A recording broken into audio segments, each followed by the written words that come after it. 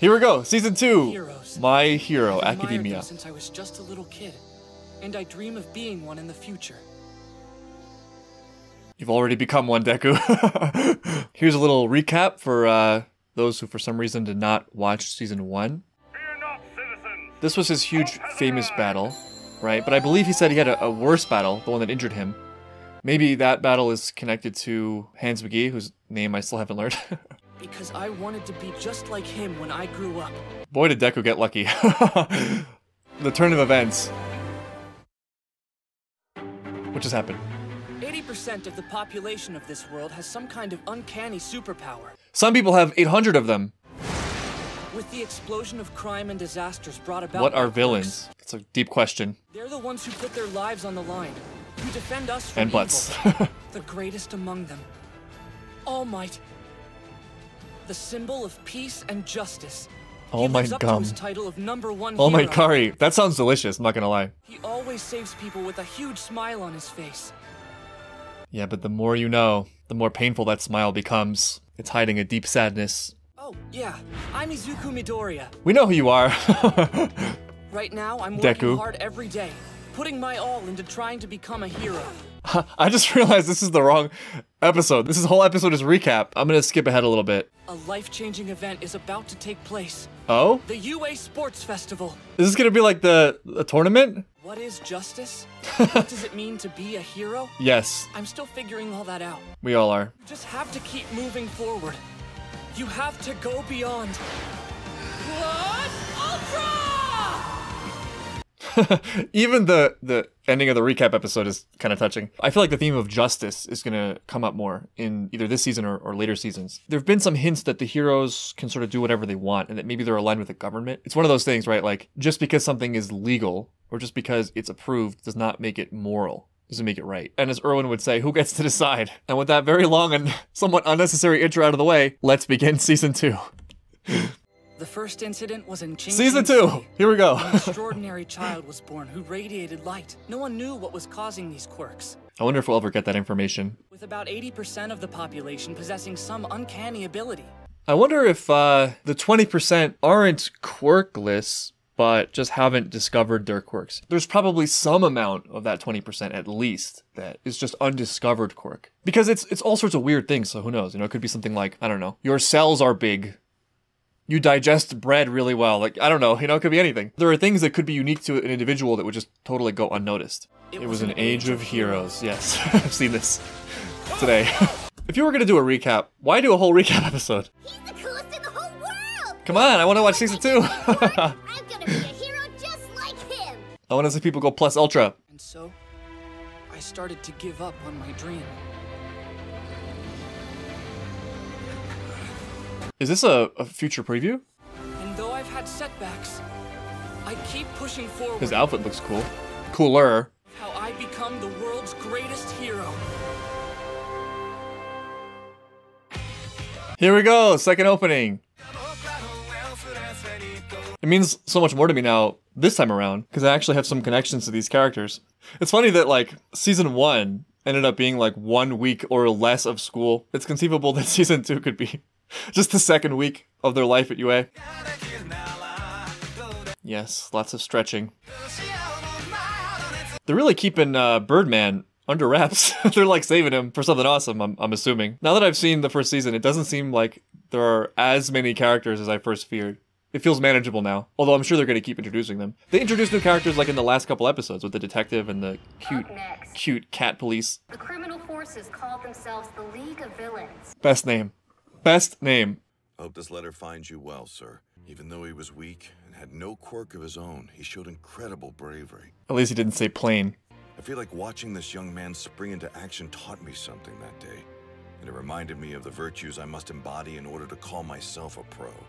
A hero. You know, this may seem obvious, but the more I think about All Might, the more I love him. Like, his challenge is just so difficult. I don't really know how to explain this. It's gonna sound really weird, but I feel like you can go down a road, a road where you really, really look at people, where you realize just how good they are and how much people do. There's a feeling I get sometimes of just this overwhelming gratitude for others, you know, for just how amazing people are. It's sort of easy not to see that in day to day life, you know, but I think you have those moments where you just, you know, it feels like for the first time you're seeing someone. All the ways that you may have been taking them for granted. You know, it's no, it's no small thing to be good it's actually kind of difficult. And there's a beauty to that, but there's also something kind of crushing about that. Like there's a weight because when you really see the good of others, it's like it just makes you want to do more. There's a way that that can be good and there's a way that that can be unhealthy at the same time. I feel like I'm rambling, but I feel like All Might just lives there. Like he just lives in that place where he really sees the beauty in life and others. And so he's able to have the maximum amount of responsibility for his, his own actions. I mean, plus ultra the maximum amount of responsibility for his actions. And the pain of that is that it's destroying him. But he doesn't really let people see him as much. He sort of hides the pain. And so there's this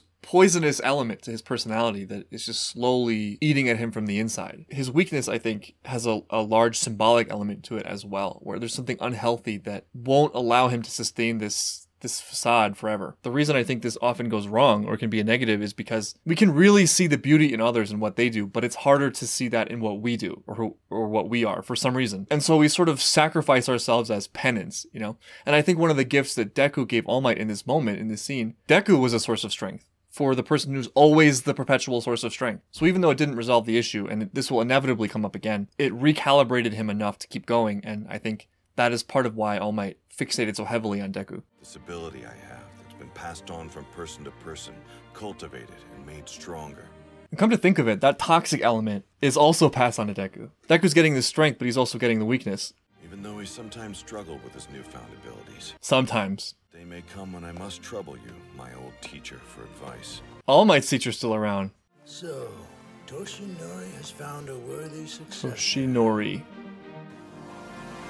That's the idea, oh, Ochaco. We've searched our records for men in their 20s or 30s who are registered as having some sort of disintegration quirk. But so far, we've come up empty. So they're not citizens or they're using aliases. Yeah, I mean, you'd sort of expect that, right? Like, people like that are not going to be so concerned with filing the necessary paperwork. This I guy. shot their ringleader, but once he heals Yeah, up, you did. probably try pulling something like this again. What a pain. The real pain is in Shigaraki's knee. And he talked about Nomu like he was some kind of a pet. It seemed like he'd never been told no before, like he thought things would go his way no matter what. A spoiled child. He has the personality of a spoiled little brat. Yeah. a man child. hmm. Criminals are starting to feel more pressure now that the world is brimming with heroes. That could be why they were so quick to back such a simple minded villainy. I feel like they're underestimating him. They're underestimating Shigaraki.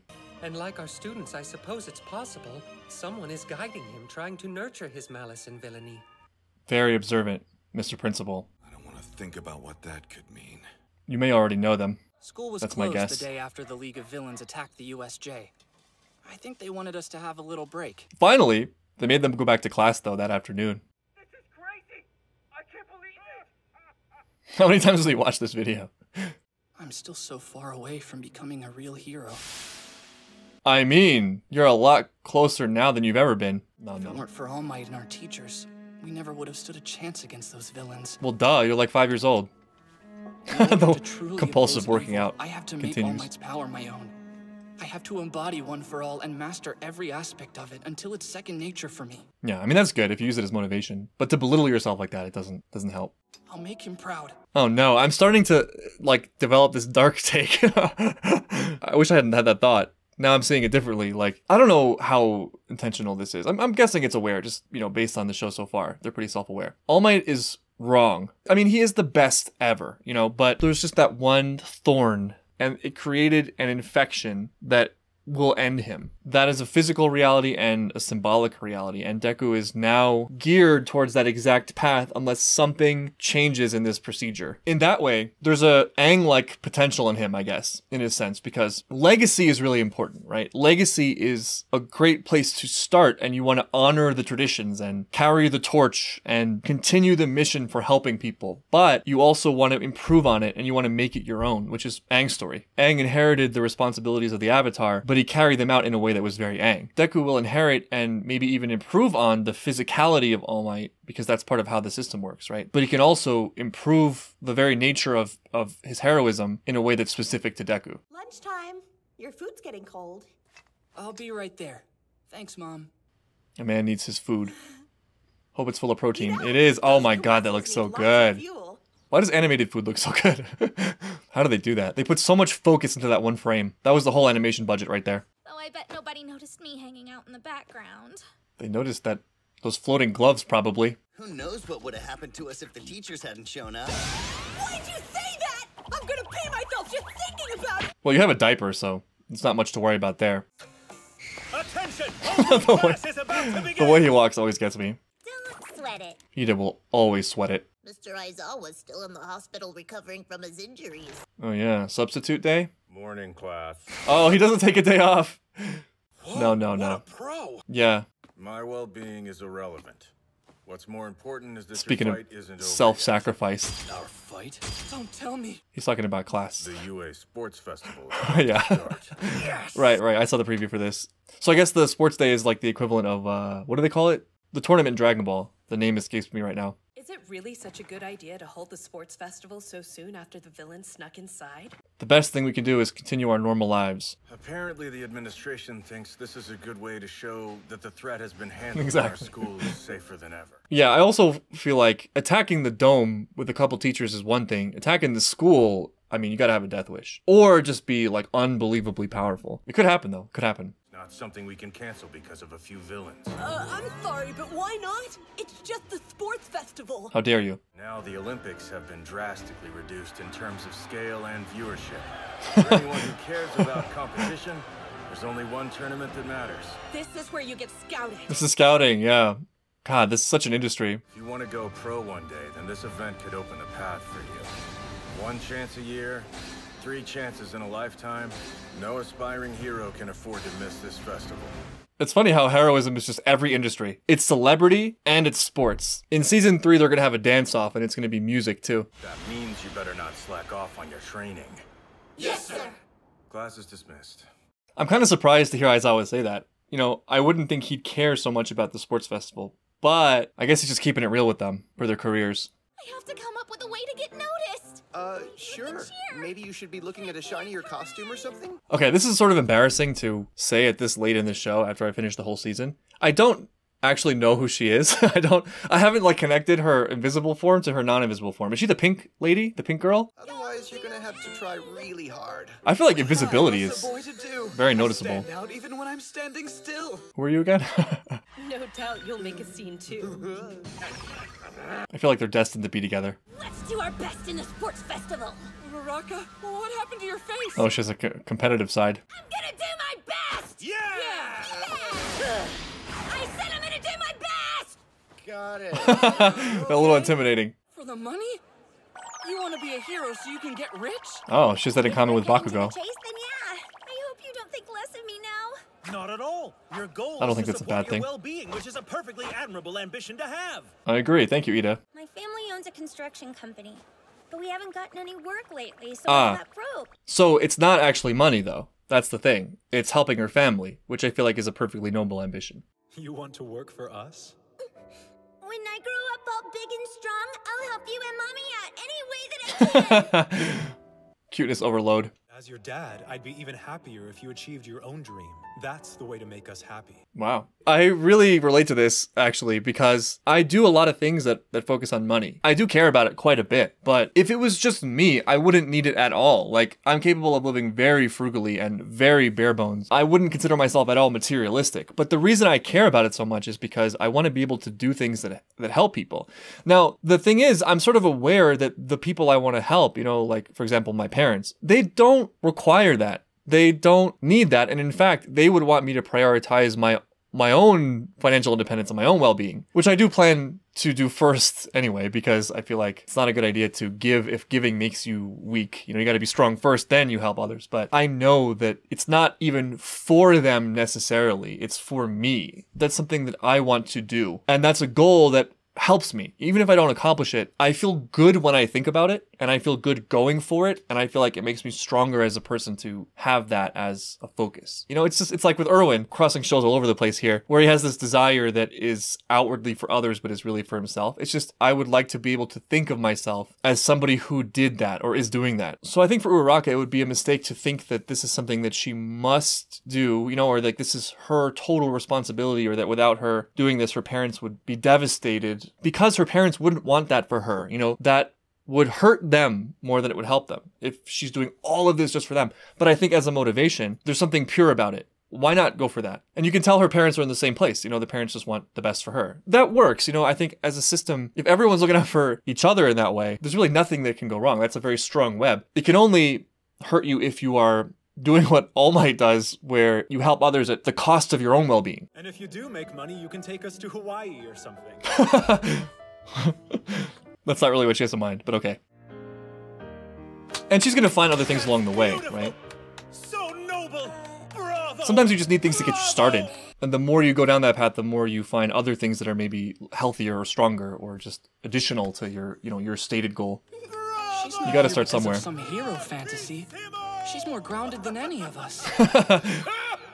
There's risk for it too, but yeah, I like it. what are you doing here? Lunch! You want to eat with me? That's adorable! I feel like he needs a bigger lunchbox to sustain that massive body. Also, remember what Asui said on the bus? That power of yours, isn't it a lot like All Might? oh no, this it's it's out. It's gonna quirks get are out. So similar to each other, it's mm-hmm. possible that All Might's taken a liking to him. Mm-hmm. Right. Oh no no no. See, once the idea's out there, they're gonna put it together. It's just a matter of time. Minutes. Yeah, that's about how Oh no. I can use my power now. Yeah, it took a huge toll on him. And you imagine it gets worse and worse because he has to exert himself harder each time because he has less time. I'm so sorry. I should have just. You don't need to apologize for anything. Man, we are alike, you and me. That's what I'm afraid of now, all of a sudden. The problem is you still can't fully control one for all yet. So then, what's your plan? Yeah, let's get back to training. How about that? We need to do private training. But my quirk could also very easily be used to kill. This was the very first time, ever, that I used my power against a person. That's kind of dark. Like succeeded in subconsciously putting on the brakes so you wouldn't have to kill anyone. Oh, thank God. I thought it was like his power is unlocked or something when he's killing. How have I become so cynical? Hey, that's some kind of progress at least. I blame Attack on Titan. I don't have much time left as the world's symbol of peace. Soon I'll have to put that title to bed. Come on, do some training. Isn't there a beach that needs cleaning somewhere? Do you still feel the same way you did when we met? He's probably more convicted than ever. Time has come for you to prove it. This sports festival. it's interesting that that's what it is. Izuku Midoriya. Those eyes, though. I want you to introduce yourself to the world and proudly say, I am here. Oh, wow. It's over? All Might has a really good eye for symbols. I think that's what makes it matter to him. Do do do. what is this? This is uh very uh very lighthearted, very girl focused. Pink Girl is not Invisible Girl after all. Who is it? Who is it? Have we ever seen her? Oh no, she's crying, or she's uh she's being very serious. She's introspecting. I like this song.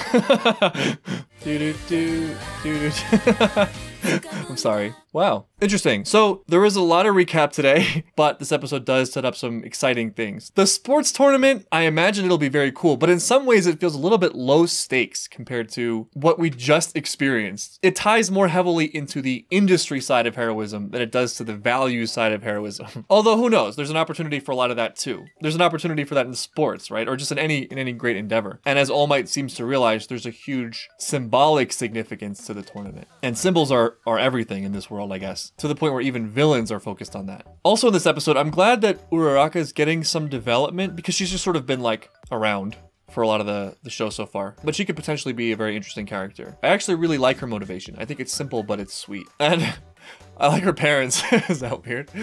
Her parents are great. Seems like she was raised well.